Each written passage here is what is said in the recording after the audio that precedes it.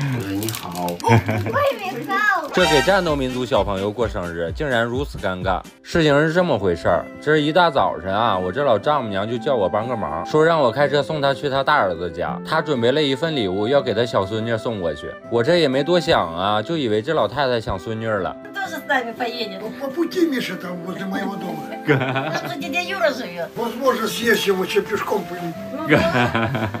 这大哥家离我老丈母娘家还不算远，差不多三公里左右。这房子呀，还是属于比较传统的木刻楞结构，至少四五十年的历史了。一层四户，居住环境还是比较拥挤的。大哥家一共有三个孩子，你们最喜欢那个大侄女儿是大女儿。另外就是这个长得特别英俊的大侄子了，虽然只有十八岁，但人家已经有十六岁的小女朋友了。你们也别说年龄咋这么小，人家战斗民族只要双方父母同意，十六岁就可以结婚了。再想想我那二十多岁至今单身的大舅哥啊，我就默默的流出了两行热泪。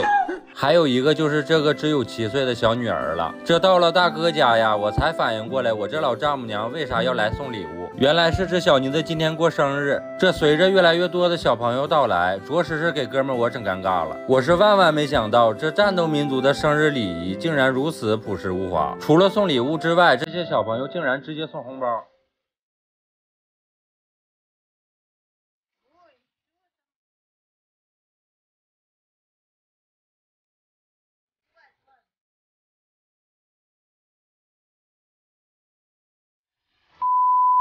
我这老丈母娘不知道是为我好还是为了给我省钱。你说你是提前告诉我一声啊？我这空手来的，一点准备也没有。我这也不能直接把钱给人家呀。我寻思咋的也得找个信封包一下子呀。我这赶紧把我这大侄女叫了过来，要了个信封。 Конверты есть? Конфеты? Нет, конверты. Конверты? Да. О, не знаю, нет, наверное. Есть? Ты хочешь деньги положить? Ой.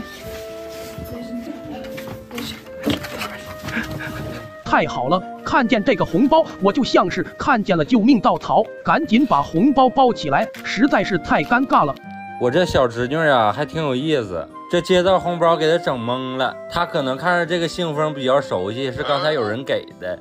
这犹豫了半天才打开。嗯、你好。外面到。谢谢。谢谢。谢谢。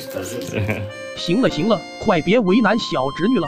这看到小侄女的存钱罐啊，我就想起了小时候我妈给我存的压岁钱，那时候总说放她那里存着，等我长大了再给我。行了，兄弟们，今天就到这儿了，咱们明天见。